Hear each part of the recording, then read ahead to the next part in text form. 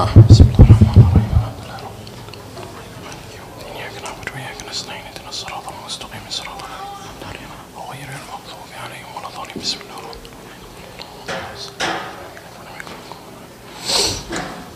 أعوذ بالله من الشيطان اللعين الرجيم. بسم الله الرحمن الرحيم. الحمد لله رب العالمين وبه نستعين.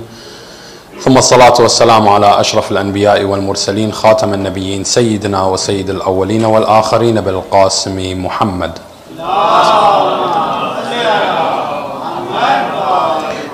وعلى أهل بيته الطيبين الطاهرين المعصومين المنتخبين المنتجبين المظلومين الذين أذهب الله عنهم الرجس وطهرهم تطهيرا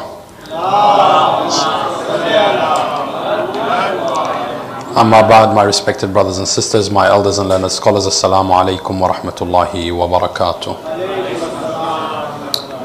Tonight's discourse will be looking at the life of Imam Al Hasan Al Mujtaba alayhi salam. And his role in ensuring the success of Karbala, hence the title Imam Hassan, the architecture of Karbala's success.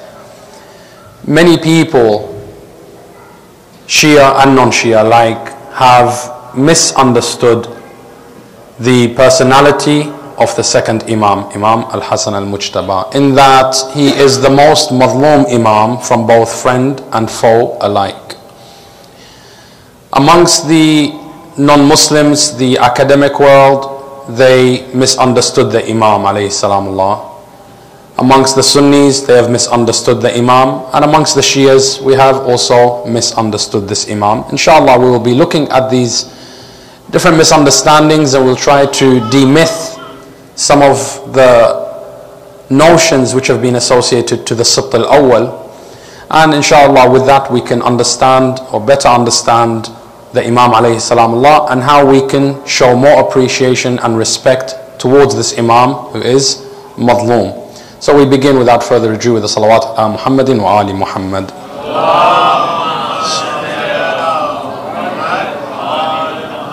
When we look at the life of Imam al-Hasan, his life was full of political turmoil. And that is not to mean just Imam Hassan per se, but the circumstances around him.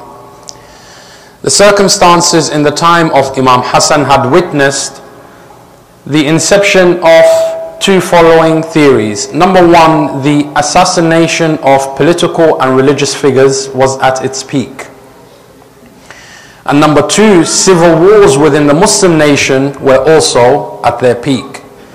And the Imam alayhi Allah had to play an integral role in ensuring that the mu'mineen, their blood was saved and salvaged, number one. Number two, the heritage of Islam is also going to be saved and salvaged.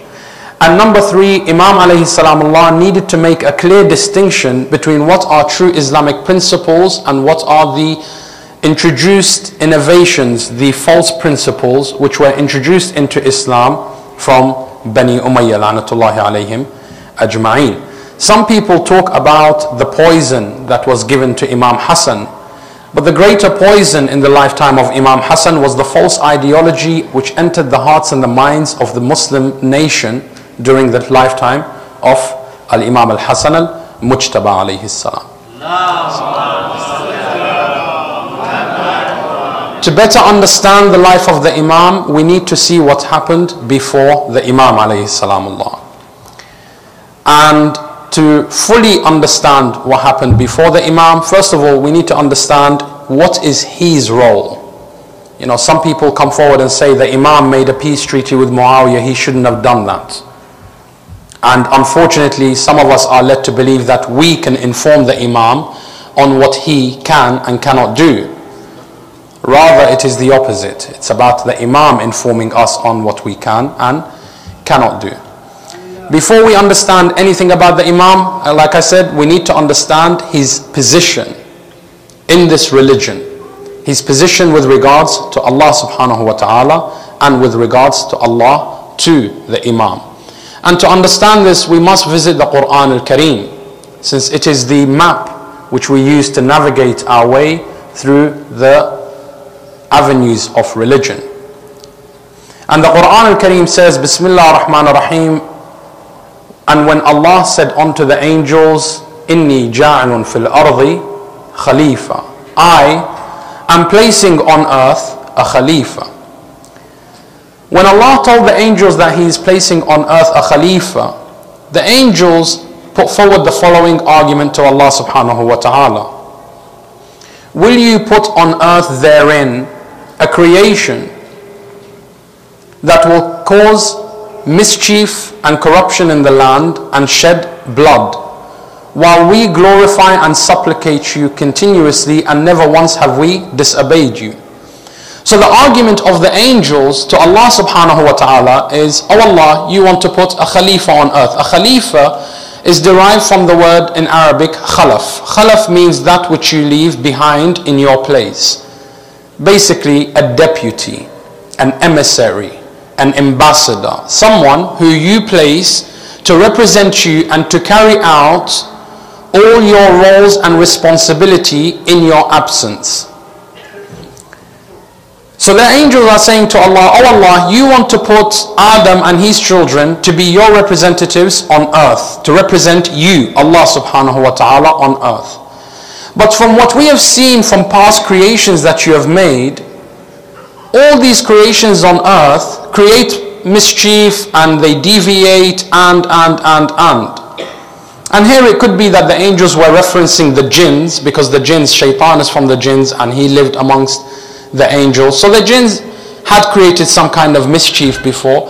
Other tafsirs say no, it is the nasnas. You know, today scientists have discovered skeletal structures and they say, well, where do these skeletal structures come from? These are from the evolution and obviously when we look at these skeletal structures, their age outdates the birth of Adam or the creation of Adam alayhi salam Allah because these are skeletal structures from millions of years ago whereas Adam alayhi salam Allah at the very most we can say he's been around for maybe 120,000 years. So this according to us these skeletal structures are from a creation that came before us called Nasnas. They were also in a human form but they were a creation that came and they went and their time, Qiyamah and everything else ended. To that end, an individual came to Imam Muhammad al-Baqir alayhi salamullah and asked, he said to him, Oh my Imam, tell me about Adam. Imam Baqir alayhi salamullah said, which Adam? He said, and were there many Adams or just the one? Imam said, I know of thousands of Adams. Now, either the Imam is referring to the galaxy as you know, there are different creations out there and Adam literally means the first of them. Or Imam is referring to creations that came before us. You know, Allah, I mean, some people are led to believe this hubris of man that we are the only creation and after we're gone there's no akhirah, there's no other creation. That's it. So even after we finish, there'll be another creation most certainly that will come to exist after us if there are no, you know, other universes already with creation therein. But unfortunately, we think that they have to have our form and our physique and everything else. People are looking at the moon through a telescope and looking at planet Mars through telescopes, trying to find life. Well, what if Mars itself is life? How do we know? Just because it doesn't have hands and feet, it doesn't mean that we have to be able to see it with our own eyes. The Quran says, jinn live on earth with us, yet we don't see them. You see? So, Allah subhanahu wa ta'ala said to the angels, I'm placing a khalifa someone who will represent me. The angels come forward with the notion that uh, these people who are going to create, you're going to create, they're not going to represent you correctly because we are more suited to, cre- to be the creation that represents you based on the premise that we have never deviated from your commandments and we glorify and supplicate you as in we do constant ibadah. Allah subhanahu wa ta'ala over here brings forward a beautiful argument. And he says, I understand that you pray and you worship and, and, and, but this is not what qualifies you to be my Khalifa on earth. Simple worship alone does not qualify you to be God's representative. There needs to be more than worship. You need to have knowledge. So Allah said, Bismillah ar-Rahman ar-Rahim, so reveal to me the names of these if you are truthful, that you are more qualified to be my khalifas. The angel said, Subhanaka la ilma lana illa ma Allamtana, glory be to you, O Allah. We have no knowledge except that which you have already taught us. We have no idea who these individuals are. So Allah subhanahu wa ta'ala says, And then I taught Adam the names and told Adam, O Adam, reveal the names of this creation to the angels. So Adam alayhi salam Allah said, Hum Fatimatun wa abiha wa ba'liha wa baniha. Ala Muhammadin wa ala. Even in Sahih Muslim, which is the second most authentic book for Ahl Sunnah, says that at the time of this revelation, Rasulullah said, when Adam alayhi salam Allah said the names, when Allah was saying, tell me their names, the, the people whom Allah was inquiring about, there was a parda between them and the angels and there was a silhouette of five individuals in sujood. Four of them were males and one of them was a female. Meaning the Itratul Tahir. So Imam Hassan alayhi salam is of that Itratul Tahira. He is of the Khalifas which Allah wanted to place on earth. He is first and foremost a representative of God. He's not just the son of Rasulullah. He is God's representative on earth. To that end, Rasulullah said, Al-Hasan wal-Husayn imaman qama aw qa'ada. Hassan and Hussein are two imams. And their imamat is not conditional on whether they rise against the tyrant or whether they remain sit seated in their homes. You do not tell them that you must be an imam unless you rise against the tyrant of the time, you are not an imam. No. Their imamat is unconditional. Their imamat is divine authority. An example here is Al-Quran Al-Kareem, Surah An-Nur, which is actually the description of Ahlul Bayt alayhim salam Allah. Bismillah ar-Rahman ar-Rahim. Allahu nur samawati wal ard. Allah is the nur, is the light of the heavens and the earth. The example of his light since obviously there is no example of Allah, the example is given of His light. What is His light? First and foremost, what does Allah subhanahu wa ta'ala mean when He says, Allahu nur samawati wal ard? If we were to switch out the lights right now, is there any nur in this room? No, it becomes dark. So does that mean Allah is non-existent in the room? If I walk out on a night where there is no moon and there's clouds and it's dark, does that mean Allah is non-existent at night time? No. So nur here, we have to look in the Quran Kareem for an alternative meaning of the word nur other than the meaning of light. Bismillah ar-Rahman ar-Rahim. It is He, Allah, who takes them out of darkness into light. What does it mean here? Light means guidance, hidayah.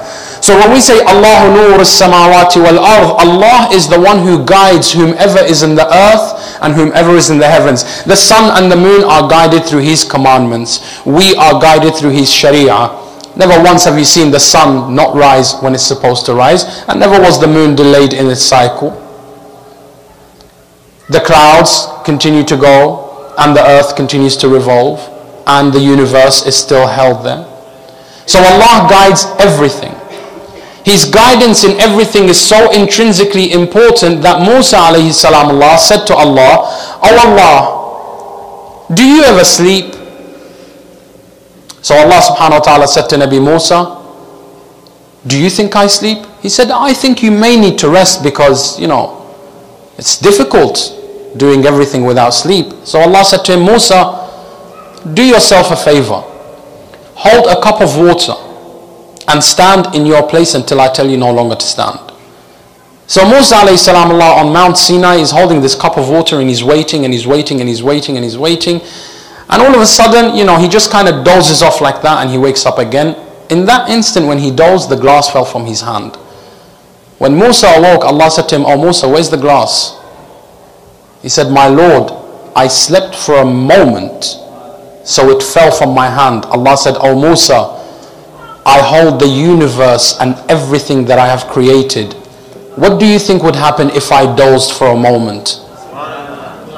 So Allah subhanahu wa ta'ala is the nur of the heavens and the earth. He is the one who guides. He's the one who maintains. He's the one who keeps. He's the one who takes care of everything.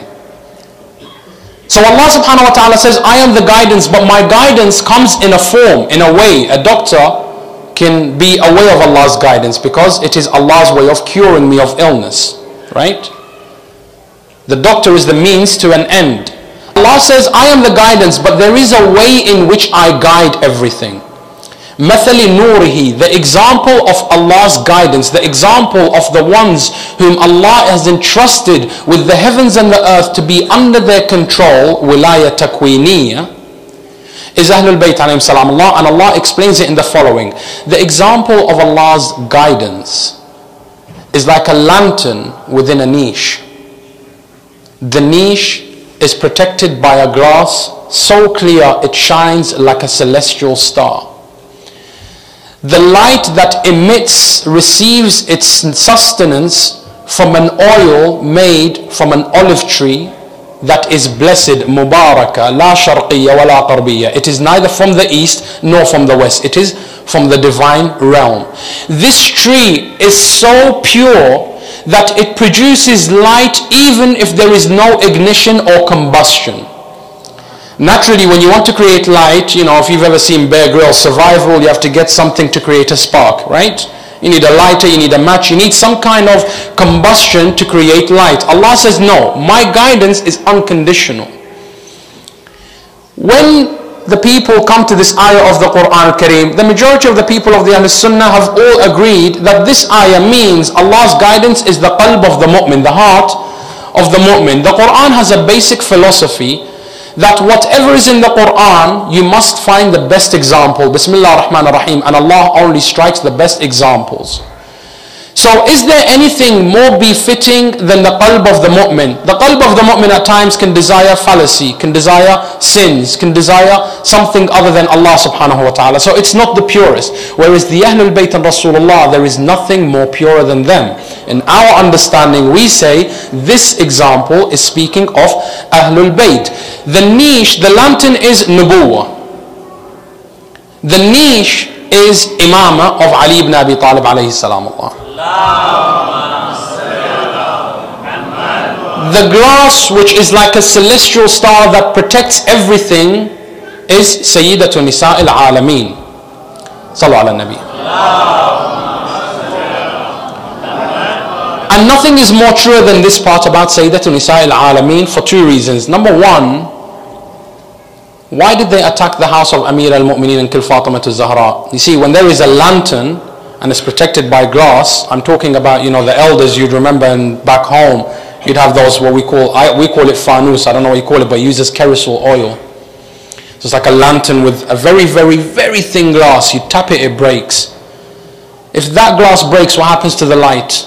It's extinguished. If the lantern is there, the light is protected from the elements in order to try and extinguish the nur of Allah. Allah says, Bismillah ar-Rahman ar-Rahim, and they only, the hypocrites, desire to extinguish the nur of Allah, but Allah will not allow them to do so. They wanted to extinguish the nur of Allah, which is wilayat Ali ibn Abi Talib. The only way they could get to Ali is to destroy that glass which was protecting him from the elements. That glass was Sayyidatun Nisa'il Alameen, Fatima Zahra alayhi salam. And that is exactly why they attacked her house. Then Allah refers to Sayyidat Nisa al-Alameen yet again. He says, this lantern, not only is it protected by this glass, it also gets its fuel from a blessed tree, an olive tree, shajaratun zaytunatun mubarakah. Imam Jafar says one of the names of Sayyidatun Nisa al-Alameen is Mubarakah. It is her name. Allah has referred to her in the Quran al-Kareem. Now here's the beauty.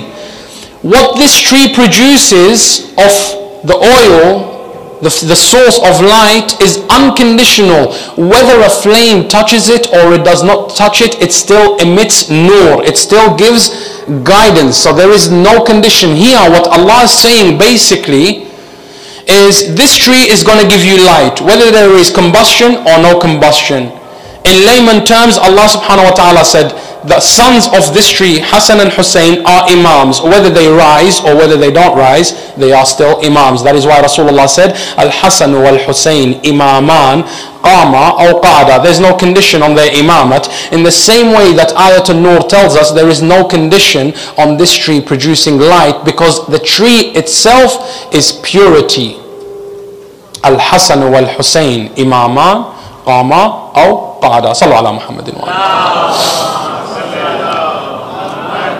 So Imam Hassan alayhi salam is not just the son of Rasulullah, is not just the first Mawlud in the house of Ali and Fatima, is not just the son of Nubuwa. No, he is God's divine authority on earth. An Imam who obedience to him is incumbent whether he chooses to rise and protest or whether he chooses to remain sitting in his house whether he is Khalifa or not is not the question. Yes, there are people who can say that he was not in the office of Khilafah for X amount of years, but that does not negate Imamah from him. His imamah has always been unconditional in the same way that Allah subhanahu wa ta'ala said in the Quran al-Kareem, Bismillah ar-Rahman ar-Rahim. And if anybody disputes with you therein after the truth which is being made manifest, then say unto the people, Bring your children and our sons. Your sons and our sons, and your women and our women, and yourselves and ourselves, and let us earnestly pray that Allah sends His curse upon the liars who go astray. On that day, which is known as Eid al-Mubahala, Rasulullah comes forward and he says, bring your sons and my sons. Something that is noteworthy is Rasulullah at the time had adopted sons, but he didn't bring those adopted sons. He only brought Imam Hassan and Hussein, who are the sons of his daughter, who in essence are his grandchildren. In the part of bring your women and our women, Rasulullah had wives. Two of them claimed to be the best afterwards, but nevertheless, yet they were not included in the verse, your women. And women here is in the plurality, not in the singular. Yet Rasulullah only brings one woman as the women of Islam, Sayyidatun Nisa al-Alameen, Fatima Zahra alayhi salamullah. And bring yourselves and ourselves. Rasulullah brought nobody other than Ali ibn Abi Talib. Ali is not the son of Rasulullah. Ali is not from the women of Rasulullah, so therefore Ali must be the self of Rasulullah. Likewise, when the Surah of Tawbah, chapter 9 in the Quran, which is also known as Surah Al-Bara'ah, when it was revealed, unanimously Sunnis and Shias agree that Rasulullah, when that chapter was revealed, Allah commanded him to send that to the people of Mecca. At that moment, Abu Bakr said, Ya Rasulullah, I will take it to the people of Mecca because I have relatives amongst them and they will not harm me. So Rasulullah gave it to Abu Bakr and said, go and reveal it to them. As soon as Abu Bakr leaves, Jibra'il descends and he says to Rasulullah, Ya Rasulullah, Allah said, either you go and deliver it or someone who is like yourself goes and delivers it. Immediately Rasulullah sends Ali ibn Abi Talib, tells him, tell Abu Bakr to come back and you go forward. To that effect, Imam Ali alayhi salam Allah references this instance at the time of his demise. Where Imam Ali was asked by Jibra'il, Jibra'il, when Imam said, Saluni qabla an tafquduni, ask me before you lose me. People were asking Imam some ridiculously stupid questions. Tell me the number of hairs on my head. Imam said, I can tell you, but how will you be able to verify it? So at that moment, an elderly man came to Rasul to Imam, uh, Imam Ali alayhi salam Allah, and he said, Oh Ali, if you are the Imam after Rasulullah, then you would know where Jibra'il is at this very moment, since you have absolute authority of Allah subhanahu wa ta'ala. So tell me, where is Jibra'il at the moment? So Imam Ali looked to his right, looked to his left, looked up, looked down. He said, Oh man, I have looked to the furthest east and I could not see Jibra'il. I have looked to the furthest west and I could not see Jibra'il. I looked to the imperium throne of Allah subhanahu wa ta'ala and I did not see Jibra'il. And I looked to the depth of the earth and I did not see Jibra'il. So therefore, by power of deduction, I am only left to believe one of two things. Either you are Jibra'il or I am Jibra'il and I am not Jibra'il. You must be Jibra'il.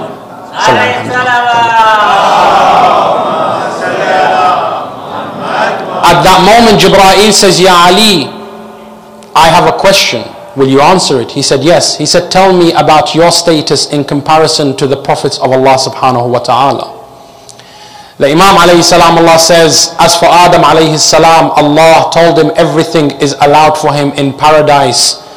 But he only made one thing forbidden for him, which was the tree Yet Adam, despite all that was allowed for him, he still went and ate from the forbidden tree. Whereas me, Allah made things for me halal and made some things makruh. But I've never once committed a makruh in my life, albeit it was never forbidden to me.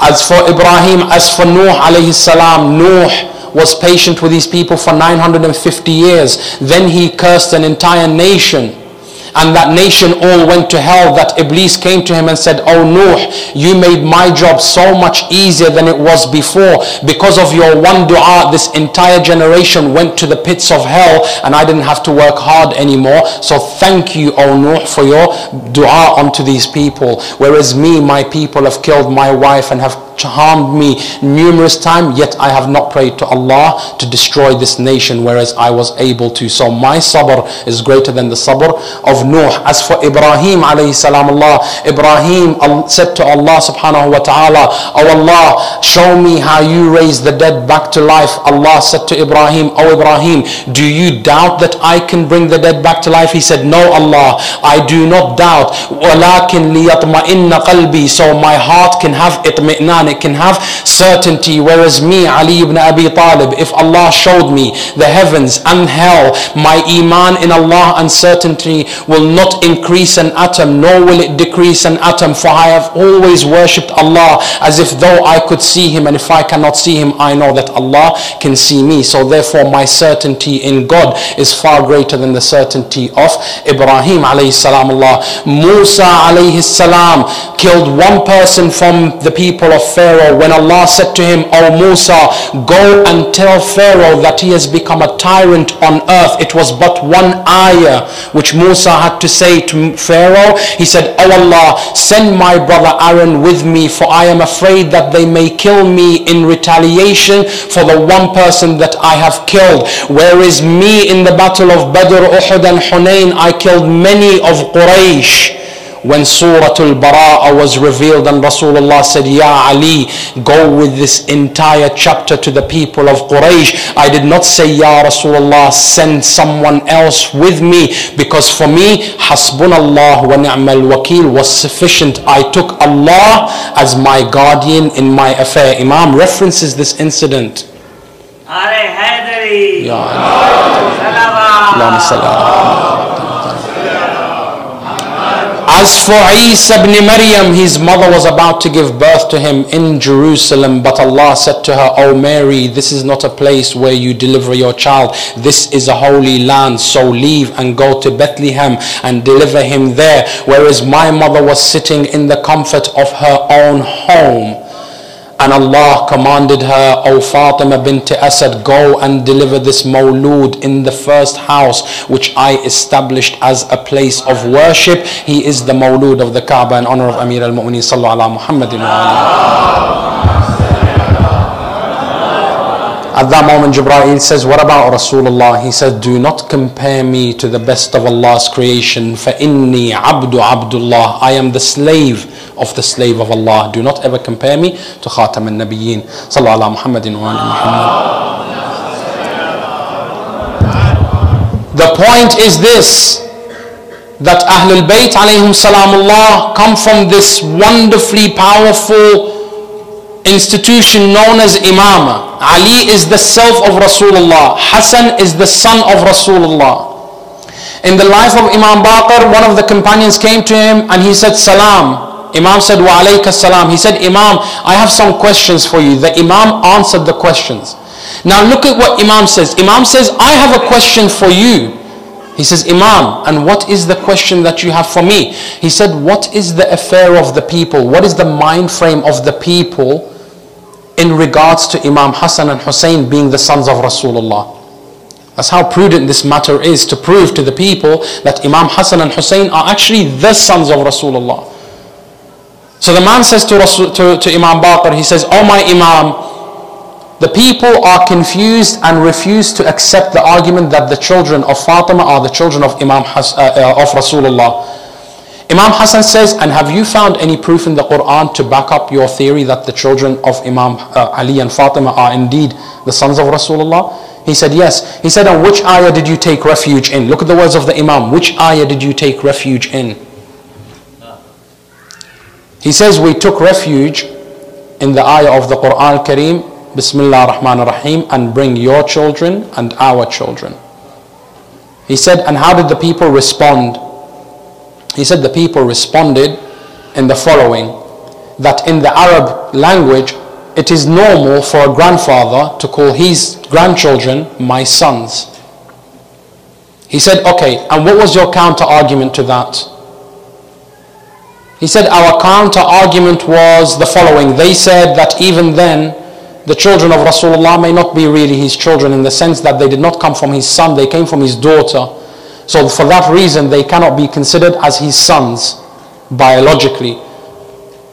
So Imam Baqir alayhi salam said, and which ayah did you use to refute them? They said, Bismillah ar-Rahman ar-Rahim, and Isa is from the sons of Ibrahim. And Isa was born from Mary, no father, so how can he still be the son of Ibrahim if his mother was a woman? There's no man connecting him to Ibrahim. Imam said, and what was their refute? They said, yes, that may be correct, but still biologically, it doesn't work that way. Imam said, what other argument have you used? They said, Imam, we've got no further argument. He said, then look to Surah An-Nisa. Bismillah ar-Rahman ar-Rahim. And it is forbidden for you to marry the divorced women of your children who are born from your loins. He said, Imam, I don't understand. He said, if anyone go up to them and ask them, if Imam Hassan al-Mujtaba divorced his wife, can Rasulullah marry her? Yes or no? If they say that Rasulullah can marry her, then they have brought a sharia other than the sharia of Allah. And if they say that he can't marry her, then the ayah here proves that he is the son. Bismillah ar-Rahman rahim Forbidden for you are the divorced women of your sons who are born from your loins. Imam Hassan and Hussein are indeed the sons of Rasulullah without any dispute.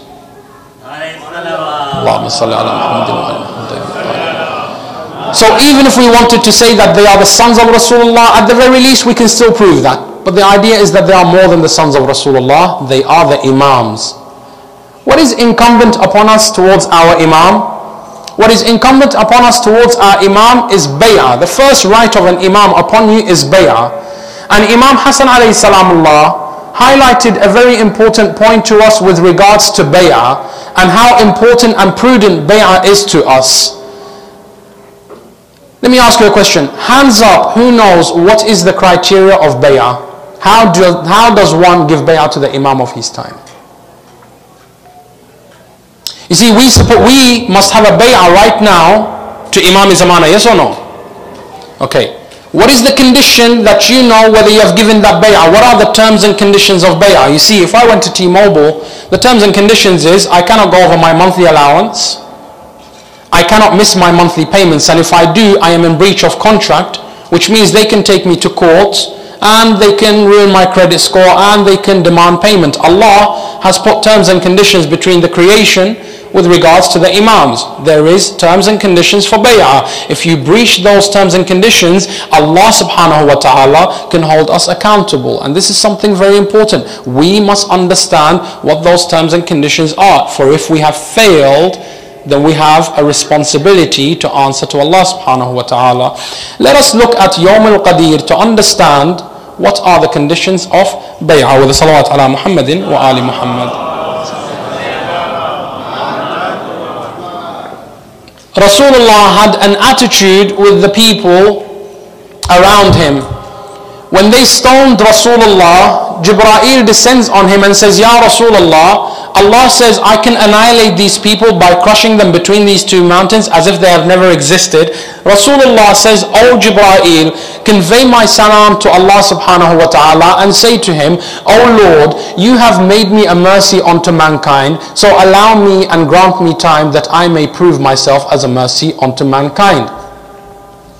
Then Rasulullah says the following, Allahumma qfir liqawmi innahum la ya'lamun. O Allah, Forgive my people for they do not know. Rasulullah, let me ask you a question. How are they your people? You believe in Allah, they believe in idols. You are a man of peace, they are people of war. You call for compassion, yet they sanction you. You tell them come and obey God and free slaves, yet they harm slaves and they stone you. So how are they your people? These are your enemies. Yet it is the mercy of Allah. You see, I'm not from Maryland, but I could be walking out right now and maybe I run into trouble with the law, but somebody knows one of the police officers and he turns around and says, you know, he's a guest of ours. Because I became associated with someone from the Maryland community, the police officer will say, I don't know you, but I know him. So because of him, I'm going to let you go. The people had nothing that brings them to Allah. So when Allah wanted to send His punishment upon them, Rasulullah said, Allah, maybe you don't know them, but you know me, and I know them. They're my people. Allow me to be a mercy. Let my shafa'ah take place. And people today come and question shafa'ah, the irony of it. Not only did he associate them to himself, he even made an excuse for them. إِنَّهُمْ لَا يَعْلَمُونَ They don't know. The question is, what is it that they don't know? There is something that the people didn't know, which until they had knowledge of it, until they acquired knowledge of it, adhab is not incumbent upon them. اللهم اغفر لقوم إنهم لا يعلمون when Rasulullah would go into sujood, they would pour animal feces and animal intestines on him while he was in salah. Allah revealed the ayah in the Quran Kareem, Bismillah ar-Rahman ar-Rahim. And have you seen the one who tries to stop my servant when he wants to pray? Again, Rasulullah says, Allahumma qfir liqawmi innahum la ya'lamun. They put him under sanctions for three years, which resulted in the untimely demise of Khadija alayhi salamullah and of Abu Talib alayhi salamullah. Allahumma qfir liqawmi innahum la ya'lamun. They chased him out of his hometown Mecca and they tried to assassinate him. Allahumma qfir liqawmi innahum la ya'lamun. They fought him in Badr, Uhud, Khaybar, Hunayn. Allahumma qfir liqawmi innahum la ya'lamun. Rasulullah, how much sabr do you have? But then on Yawm al-Ghadir, they knew something. Where Rasulullah came forward and said, Do I not have an authority over the believers more than they have upon themselves? They said, Indeed you do, Ya Rasulullah. Sam'an wa ta'a, we hear and we obey. So Rasulullah took the hand of Amir al-Mu'mineen and raised it high enough and said, Man kuntu mawlahu fahadha aliyu mawlah Allahumma what came afterwards? Did he say, اغفر لقومي إنهم لا يعلمون? No.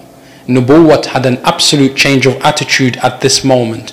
No more forgiveness for my people, for they do not know. No. The very first time Rasulullah said, Oh Allah, declare war on whomever declares war on Ali and make peace with whomever makes peace with Ali and be an enemy of whomever took Ali as their enemy and be a friend for whomever is a friend for Ali. For I have made peace with those who made peace with Ali and I declare war for those who declare war on Ali. For I have proven to the people over time that he is from me and I am from him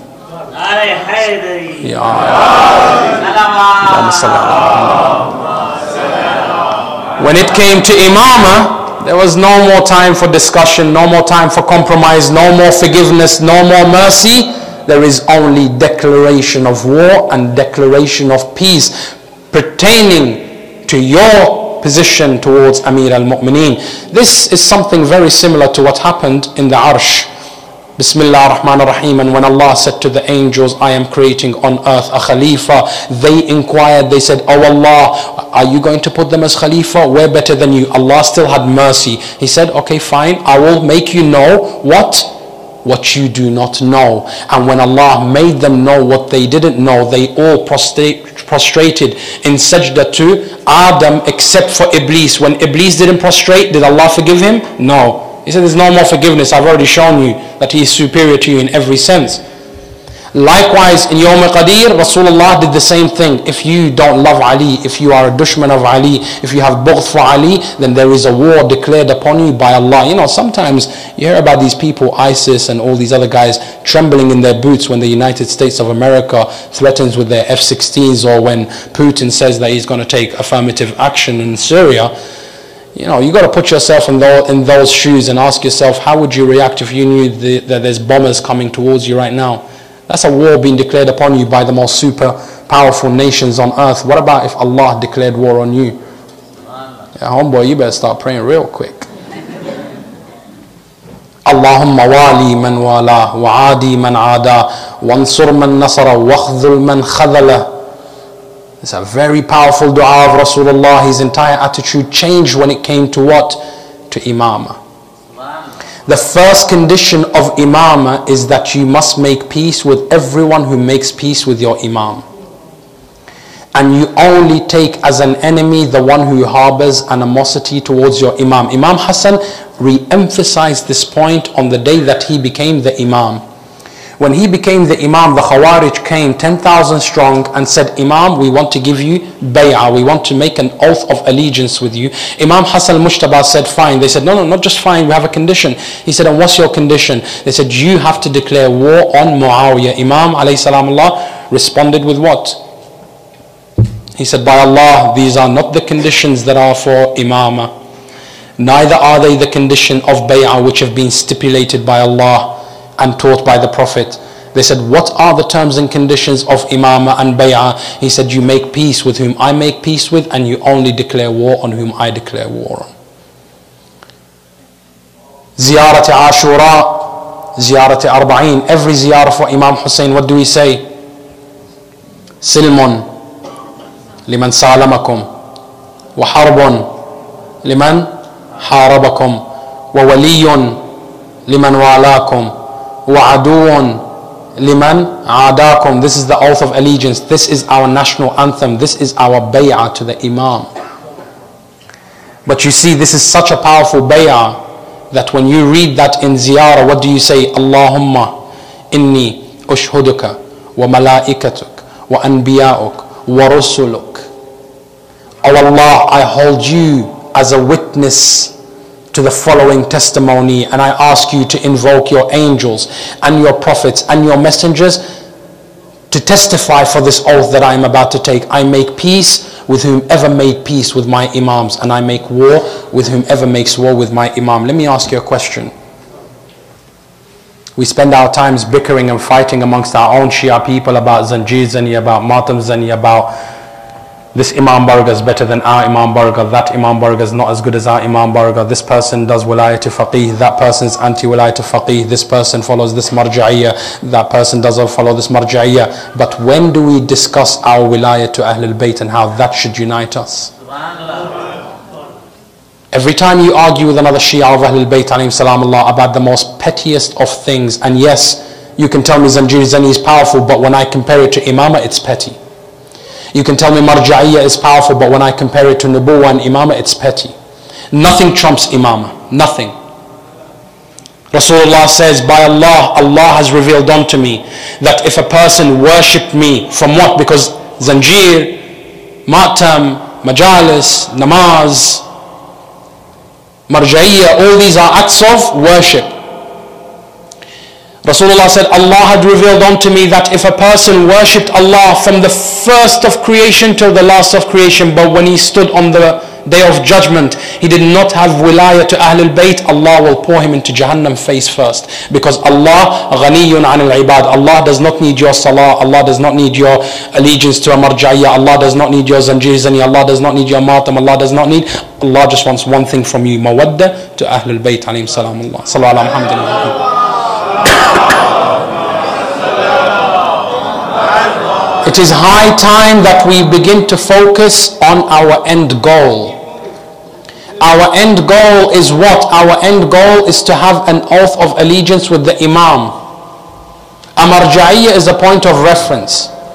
That's good, but that's not the end point. Matam is a means of showing love, but that is not the end point. Before I show love to my beloved, I need to actually know who my beloved is and what they expect. Let me give you an example of mawadda. Allah has used the word mawadda in the Quran al-Kareem with regards to husband and wife as well as with regards to the Ahlul Bayt. And this is something very important that we should focus on. You see, when it's all pyar ho and I'm in love, how do I win the love of my beloved? Guys, I'm sure none of us would want to be seen by anyone in this Jamaat walking down the street with a handful of roses, right? Because everyone's going to make you the laughing stock. But you know she likes roses, so what do you do? You go out and you buy roses. I don't think any guy in this room likes to watch chick flicks, but you know, if that's what she likes and that's what she's into, then yeah, that's what I'm going to be into, right? Guys spend so much on fancy cars, not because they like them, but because they know that's what women like. They buy these expensive houses and big, Uh, to the end of it. Believe me, we're very simple, we're very primitive as men, you know. If it were up to us, we'd sleep under a tree, we'd be happy, but which woman's going to marry you if you're living under a tree? So you have to do things to win the love of your beloved. And that's what mawadda means. Mawadda doesn't mean you love someone. No, mawadda means that you act in a way where you win the love of the other person. That's what mawadda means, right? Now, Allah commanded me to have mawadda to Ahlul Bayt, yes? Okay. Ali ibn Abi Talib loves salah. If I want to win the love of Ali, I have to pray a bit more. I have to do the things that he loves, yes? Amir al-Mu'mineen was compassionate to the people. I have to be compassionate to the people if I want him to love me, right? Ahlul Bayt used to help the orphans. I have to help the orphans if I want to win their love. It, does, it doesn't just stop at Matam and Zanjizani. It's not just a ritual, it's beyond that. It's so important that Rasulullah says, me and the one who looks after an orphan are like this. That's how close we will be on Yawm al-Qiyamah. Their house will be stuck to my house. Imagine that having Rasulullah as your neighbor. Ana wa kafil the one who takes a yatim into their custody, are like this. That's what Rasulullah was teaching us about mawadda. It's not just praising them and making them gods and then just doing matam. No, matam is beautiful. There's no denying. I'm not anti-Azadar, I'm not anti-Zanjir, believe me. If you think that's the case, you need to come see me when I'm in Sham on ziyarah. I'm definitely not anti, but I'm saying that's not enough. It's more than that. The best ma'tam you can do is the ma'tam of akhlaq. The best mawadda you can do is the mawadda of forgiving another Shia person, not because they are deserving of your forgiveness, but because they have wilayah to Ali ibn Abi Talib alayhi salam Allah. Ala Muhammadin wa If two people are brothers, what unites them is blood, right? What unites them is their parents. But if they break up and they stop talking because of a business deal, what was more important to them? Their blood relationship, their parents, or their business? Money was more important, yes or no? Right. If I love Ali ibn Abi Talib and you love Ali ibn Abi Talib, but at the same time saying, Lanat Beshmar on you for following this Ayatollah or for being anti-Zanjir or, or, or, what's more important to me now, Zanjir Ali ibn Abi Talib? Because Ali ibn Abi Talib told us, if you're really my Shia, you have to have mawadda for one another. Right? Silmun liman salamakum. Harbun liman harabakum. Unfortunately today, we're banging about Sunni Shia unity, but nobody wants to talk about Shia Shia unity. We talk about assimilating within and coexisting within American society, but nobody wants to talk about coexisting within our own Shia societies. When I send my children to school, it doesn't matter to me whether the teacher is a Hindu, whether he's an atheist, whether he's a homosexual. None of that matters to me because the transaction at the end of the day is beneficial for me that my child is going to be educated and that's all that I care for. But when I send my children to be united with the Shia of Ali ibn Abi Talib, I put a million and one condition about that person. But reality, I should only put one condition that they must be Muhibbeen of Ahlul Bayt This is the first lesson we can take from Imam Hassan alayhi salam And until we can understand that, we will never understand what it means to have bay'ah to our Imam. Silmun liman salamakum. The oath of allegiance, the stipulation included by Allah is that you must make peace with the ones I make peace with and you must only declare war on the ones whom I declare war on. Sallallahu Muhammadin wa ali Muhammad. The second thing we must understand about Imam Hassan alayhi salamullah is that there was a lot of turmoil in the life of the Imam. People think that just because there were people living in Kufa and Imam Ali made Kufa his capital, everybody in Kufa was a Shia. No. Kufa was divided into four major groups. The supporters of Bani Umayyah, the Khawarij, the tribal businessmen, and then there is the minority who were the Shia of Ahlul Bayt. For the majority part of the history, the Shia of Ahlul Bayt were either being killed or were being placed under arrest. The Khawarij wanted to get rid of Bani Umayyah as well as Ahlul Bayt. Bani Umayyah's supporters We're Bani Umayyah's supporters. And businessmen, well, follow the green trail and you'll find them. So the people were not necessarily the friends of Imam al-Hasan alayhi salam. That's one problem that the Imam had. The other problem was that people claimed Islam but they didn't care for Islam. People failed to understand what divine authority was. And I'll give you an example of when this began. When Uthman ibn Affan was about to be assassinated by the Egyptians, Imam Ali said the following to him. He said, O Uthman, you chose to take the position of Khilafah and the people have come to recognize you in a divine position. But unfortunately, you have not been fair unto them. And now we've come to a crossroad in this religion, in the history of Islam, where for the very first time the entire Muslim nation is trying to assassinate the Khalifa. Can you imagine what would happen if a president of the United States got killed and nobody cared about it thereafter? It becomes normal whenever we don't like a president, kill him. So Imam Ali says, O Uthman ibn Affan, if these people are allowed to kill you because you don't change your ways, you are going to destroy the very foundation of this religion in that authority and leadership will no longer be respected. And that is the reality that after the death of Uthman, after the assassination of Uthman, every one of the Ahlul Bayt was assassinated as well as every Khalifa that came from outside of the school of Ahlul Bayt was also assassinated with the exception of Muawiyah who died of old age because he was the one holding the reins of assassination. Aisha, the wife of the Prophet said kill Uthman and now you have the verification that you can kill the Khalifas of Allah subhanahu wa ta'ala. I'm not saying Uthman was a Khalifa of Allah, but he occupied that office. When it came to Imam Hassan alayhi Allah, people no longer cared whether he was the son of Rasulullah, whether he was an Imam, because they had become accustomed, kill the Khalifas if they don't want them. We killed Ali ibn Abi Talib, we killed Uthman, we're going to kill Hassan, we're going to kill Hussein, we're going to kill, we're going to kill, we're going to kill. You may think it stopped then, but it's happening to this very day. Ayatollah Hakim got killed outside Imam Ali Allah's shrine by Shias. Outside the Rosa of Imam Ali, a suicide bomber exploded. Now, I, I say by Shias, but maybe it's not, I don't know. But apparently it seems to be one of the other groups who didn't like him and they were supporting another Marja'iyah. Ayatollah Khoi's son, Sayyid Majid, God rest his soul, was stabbed to death in the Rosa of Ali ibn Abi Talib. Can you imagine that?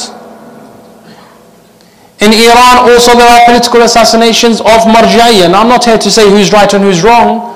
But I'm just saying that in this religion, whether you are Sunni or Shia, because of what happened then, we have all lost respect for the authority of our religious leaders. Today Maulana can say something, we don't like him, we bring another Maulana, we pay him more money to say counter. Yes or no? I'll tell you of a true story that happened here in the United States. A businessman who was the president of the Jamaat, someone went up to the Maulana and they said, hey, you know, there's someone in this Jamaat. They didn't say it's the president, of course. This is someone in this Jamaat, his business is involved in X, Y, and Z. Maulana obviously doesn't know. He thinks he's doing the right thing. He tells the Jamaat, he says, you know, that kind of business is haram and you really have to think about what kind of money you bring home to feed your children. Next day, Maulana is no longer reciting. Another Maulana came in and that Maulana said, that guy is not even qualified. He's from this house. Uh, this house is not even very good. He doesn't know what he's talking about. This is halal business. Why? Because the guy paying the check is now the dictator. Yes or no? So Imam Hassan salam highlighted to us a point that leadership was completely undermined in that time and it, is, it remains to be so to this very day, unfortunately. Some people come forward and say, why doesn't Imam Zamana come out now? There's so many Shias. There, there, there, there, there. Okay, fine. Imam Zamana comes out, the first thing he says, you don't like him, someone's going to pay another Maulana to say counterwise against the Imam. Are yaar, he's not the Imam of the Zaman, he's, he's somebody else. He's a pretender. Yes or no? Because we, the general public, how do we know? If someone walked in right now and said, I'm the Imam of the Zaman, what's your criteria? How will you know if he's telling the truth or if he's lying? See, your dilemma is the following. If you go to war against him and he is the real Imam, you kill the Imam of your time. And if he's not the Imam of our time and you support him, you supported a pretender. So what is your criteria? How are you going to know who is your Imam Zaman? Me and you don't have the answer. Guess who has the answers? The marja'iyah system. And that's why we need to give that much more respect to our marja'iyah. People come forward and ask questions. Oh, Sheikh Fulan, you know, uh, is it true that the moon sighting is supposed to be like this? My Ayatollah. You didn't choose him your Ayatollah so you can question his authority. You chose him because you thought he is the most knowledgeable, so follow him. Ayatollah Sistani is sitting in Najaf for the last 83 years, or however old he is, may Allah prolong his life. He's not doing it for money. If you've been to Ayatollah Sistani's house, believe me, with that long life and with that much knowledge that he has, he could have been one of the best professors. He could have been, he could have been a multi-millionaire. He's not doing it so he gets authority over you. He's, he's searching for knowledge so he can guide us. Ayatollah Khamenei, Ayatollah Khoi, Ayatollah Wahid Khurasani, Khomeini, all the Ayatollahs of our time. Yes, they all have differing opinions amongst themselves. But let me ask you something. There are doctors in this room. Do you call one doctor an idiot and another one is good because they have difference of opinion in the medical field? No. I could have a heart condition. I'll go to two doctors, both qualified. One says, I think you should have an open heart surgery. The other one says, no, I think you should just exercise. Each one is talking about the field that they know best. Ayatollah Sistani says the, the sighting of the moon is different to what Ayatollah Khamenei says because Ayatollah Sistani has a PhD in astronomy whereas Ayatollah Khamenei doesn't. Sistani specializes in astronomy. Ayatollah Khamenei specializes in politics. Each one picked their major and went with it. You chose him, you follow him based on what, why you followed him. Don't question the authority, respect the authority. And when you question the authority, question it in a polite manner not in a rude manner. Because listen, if I don't condition myself today to have respect for leadership, when Imam Zamana comes, my attitude towards the marja'iyah will also be applied to the Imam of my time. Because I haven't conditioned myself to respect authority. And I don't mean authority because he has a turban on his head. Authority of knowledge. The angels only bowed down to Adam because of knowledge. That's where authority is. It's in knowledge. Third, Imam Hassan Allah signed a peace treaty with Muawiyah. People to this very day, Sunni and Shia, do not understand why the Imam signed the peace treaty. And this is the conclusion on how Imam orchestrated the success of Karbala. We look into that with a salawat ala Muhammadin wa ali Muhammad. What we've just said is that people fail to recognize true leadership and true authority, which means what? Which means that when a group of people went to Abu Huraira and they said to him, Oh Abu Huraira, you are a companion of Rasulullah. Who should we side with in this war? Ali ibn Abi Talib or Muawiyah? Do you know what was the response of Abu Huraira in Bukhari? Salah behind Ali is good and food on the table of Muawiyah is good. It's true. There was no one sincere that was giving true guidance on who you should follow as an authority. That Muawiyah was praised and Ali was cursed for 80 years. So people failed to recognize who is the zalim and who is the madlum, who is the imam and who is the shaitan. People failed to recognize that. As far as people were concerned, Muawiyah was actually a good person. Imam Hassan Allah's peace treaty was to reveal the true intentions of Muawiyah so when Imam Hassan entered the peace treaty with Muawiyah, he didn't just walk up to him and say, give me a peace treaty. No. Muawiyah came and put Madain under a siege. And when he put Madain under a siege, he's very tactful. He said, Oh people, I do not want to shed your blood, but Imam Hassan is a warmonger. So I am offering him an opportunity of peace. If Imam Hassan refused to go and make peace, let me ask you sincerely. First of all, I have absolute certainty that Imam Hassan would have annihilated Muawiyah and his army, the son of Ali ibn Abi Talib No doubt. But if history recorded that Imam Hassan butchered that whole army when there was an opportunity of peace, would people today call Imam Hassan an Imam of peace or would ISIS take him as an example? I'm asking you sincerely. Ponder on that for a moment. So Imam was presented with a difficult dilemma where he had to accept peace. There was no alternative.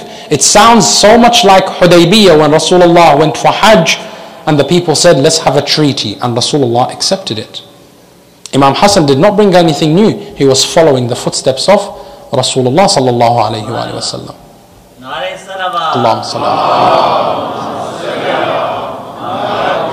After that, Imam Hassan al-Mujtaba Allah said, fine, Muawiyah, are you sincere that you want peace? Muawiyah said, I am so sincere. This is a public conversation. Imam Hassan said to him, then will you accept my terms of peace? He said, here is a piece of paper, write whatever you want. I am going to show the people I am a man of peace, that whatever conditions you put, I will accept. Because to Muawiyah, he just wants to rule. And this is what Imam Hassan wanted to show the people, that Muawiyah is not an honest man. So Imam Hassan put the following conditions. We'll only mention a few.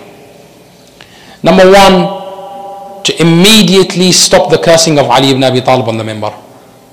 Number two, to stop the harassment of the Shia of Ali. Number three, the khums and zakat which you have denied to the people, the Muslims, the Shias, you pay them everything that is owed to them. Number four, you remove your corrupt ministers and you listen to the grievances of the people. Number five, you stop immediate war. Muawiyah receives the peace treaty of Imam Hassan. When he receives the peace treaty, he rips it up after receiving the bay'ah. Everyone shook his hand, they have a bay'ah. His army is there, he rips up the peace treaty and he steps on it. He says, Here are the words of your Imam, they are beneath my feet. O people, I did not fight you, so I make you pray and fast and teach you the Quran. For these are things that you know better than I. I only fought you so that I can subdue you and rule over you. And anyone from henceforth who challenges my authority, his mother shall mourn his funeral. And this is when everybody was waking up to the reality that Muawiyah was actually a warmonger. And that's why when Muawiyah dies, immediately the people went to Imam Hussein. He did not come to them. They sent him a hundred thousand letters saying, We can no longer tolerate living under Bani Umayyah. We were fools to believe Muawiyah and to abandon your brother Imam Hassan. So hasten towards us. Yazid would still be considered a good man to this day had it not been for Imam Hassan exposing Bani Umayyah's true intentions lanatullahi alayhim ajma'in. So Imam Hassan's ultimate objective was to reveal the hideous face of Bani Umayyah and to lay the foundations for Imam Hussein alayhi salamullah so that his struggle in Karbala may become a success. To this end, Allah refers to Imam Hassan and Hussein in the Quran al-Kareem by saying, Bismillah ar-Rahman ar-Rahim, Laylatul Qadr khayrun min alfi shahr. According to the Ahlul Bayt alayhim Laylatul Qadr Sayyidat Nisa al-Alameen, her one deed which is giving children to Nubuwa, to Imam Ali, to Imama, and giving Imam Hassan and Hussein, Allah refers to them, He says, these two sons of Fatima are better than a thousand months. You know what a thousand months are? A thousand months divided by 12 is 83 years and some months. That is the exact amount of time Bani Umayyah ruled over the Muslim world. Everything that they done in their 83 years fell when it came to the sacrifice of Imam Hassan and Hussein in Karbala. Sallallahu Muhammadin wa Let us dim out the lights and turn our hearts and minds and souls towards Karbala.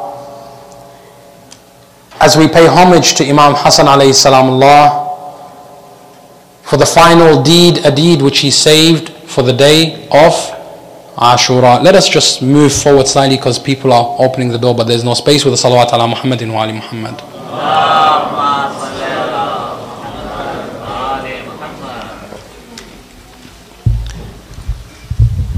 Hassan alayhi salam Allah's dedication to Karbala and this is something for us that we should reflect upon. Some people say is the Imam going to come in my time? Maybe. The question is, what are you going to leave behind for your Imam in case you are not there when he does arrive? What kind of children are you going to leave behind for your Imam? Imam Hassan knew that he would not be there in Karbala. So he left something behind for that day. Every one of the companions of Imam Hussein would come to him and ask him for permission before they go. And after a while, Imam would grant them that permission.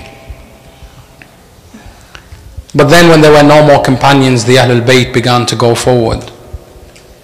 And amongst them was a young 13 year old boy known as Qasim ibn al-Hasan. Qasim ibn al-Hasan was three years old when his father passed away. So for the following 10 years he was raised by Imam al-Hussein alayhi salam. Qasim recalls his time under the care of Imam Hussein. He says, I never once felt like I didn't have a father. You know, it's very difficult for you to imagine what an orphan goes through, but whenever we have problems in life, we sit and talk to our parents. Whenever you need mother, you go to your parents. Imagine how an orphan feels when they don't have no one to go to. So Qasim, Imam Hussein was the most beloved person to him because whenever he had any problems in life, whenever he needed someone to talk to, whenever he needed help, whenever he needed finances, he would go to Imam Hussein alayhi salam. And he would ask Imam Hussein for help. And Imam Hussein and Qasim developed a very strong bond. So when Qasim came to Imam Hussein, he said, Uncle Aba Abdullah, do I have your permission to go? Imam Hussein looked at him and he said, Oh Qasim, whenever I missed Imam Hassan, whenever I missed my elder brother, I would look to you. You are the amana that was given to me by my brother Imam Hassan. I cannot let them do anything to you in Karbala. Qasim goes back to his mother weeping. She says, son, what is wrong with you? He said, mother, normally when a person dies, he leaves a will. Yes? She said, yes. He said, did my father leave a will when he died? She said, of course. He said, mother, did he mention anything about me in that will? Anything specific for this day in Karbala? Because I want to pay back my uncle Hussein for everything he has done for me in the last 10 years, but he will not allow me to go because he said says he doesn't want me to go because I am the son of Imam Hassan. His mother begins to weep. She says, Oh my son, there is a box left for you from your father Imam Hassan. She takes out that box, she opens it. In there she finds the following. The armor of Imam Hassan, the turban of Imam Hassan, the ring of Imam Hassan and two letters written by Imam Hassan himself.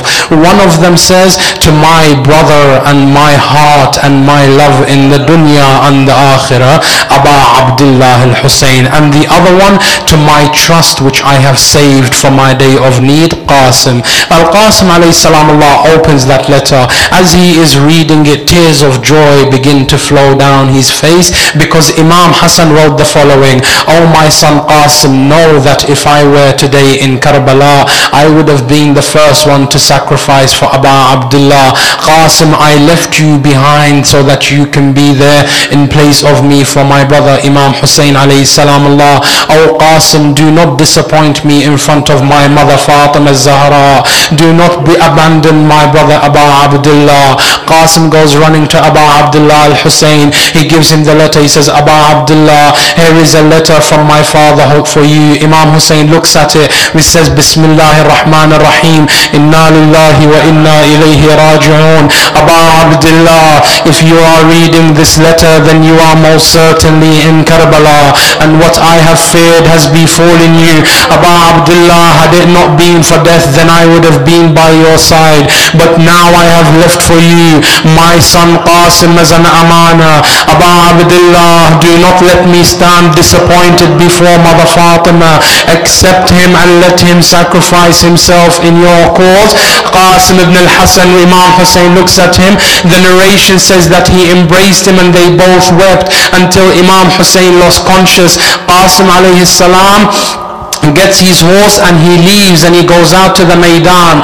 When he goes out to the Maidan, Ajrukum ala Allah, he is the son of Amir al-Mu'mineen. He is the son of Imam Hassan al-Mujtaba. He is the one trained by Abu Fadl al-Abbas. He is the nephew of Imam Hussein. He is a valiant warrior.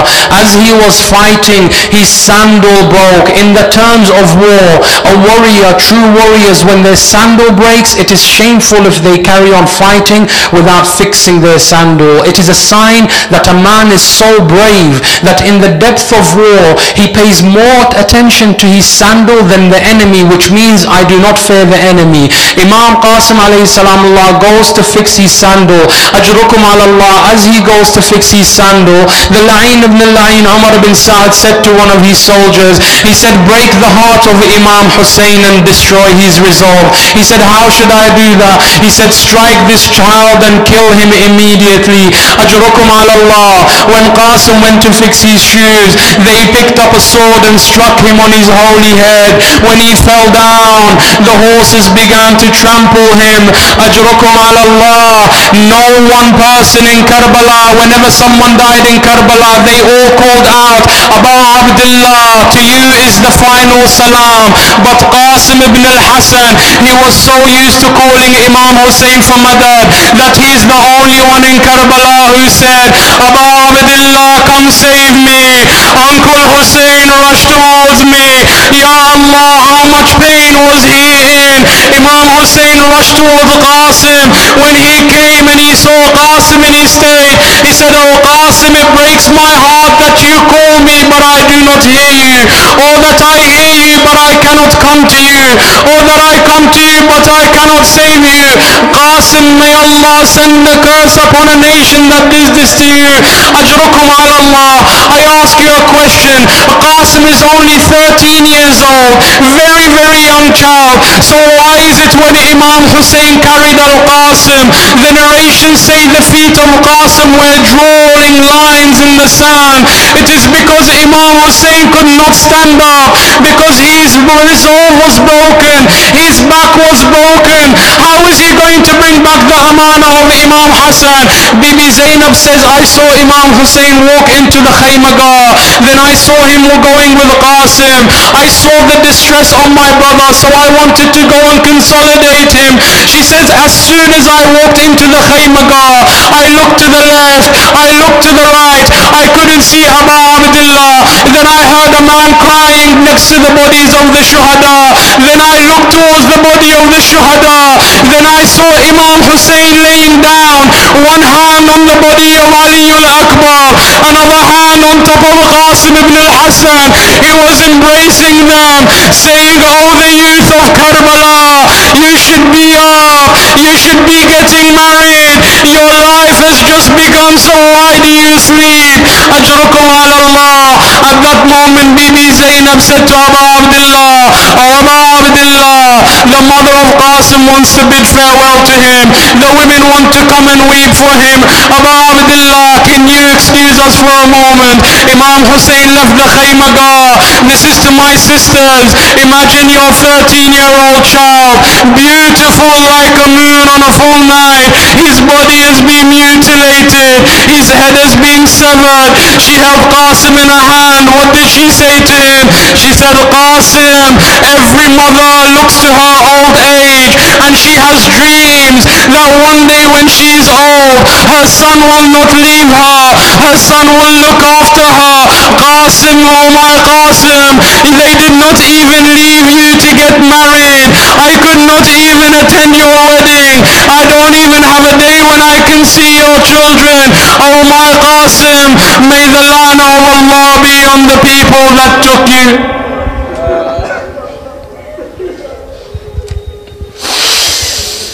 لا حول ولا قوة إلا بالله العلي العظيم. إنا لله وإنا إليه راجعون. ألا لعنة الله على القوم الظالمين؟ وسيعلم الذين ظلموا آل محمد أي منقلب سينقلبون. ماتم حسين يا حسين.